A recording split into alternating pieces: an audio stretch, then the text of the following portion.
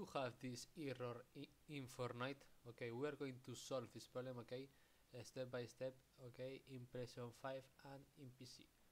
okay in PlayStation 5 we are going to the uh, settings okay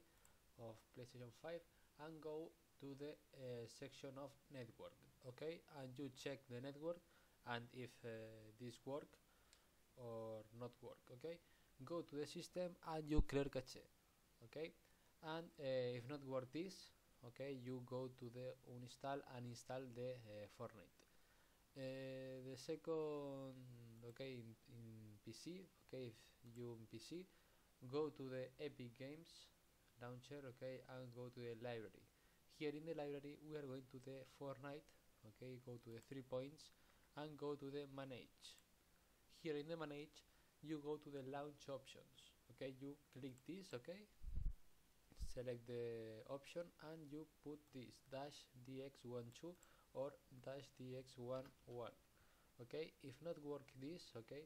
uh, go to the installation and uninstall and install. Bye bye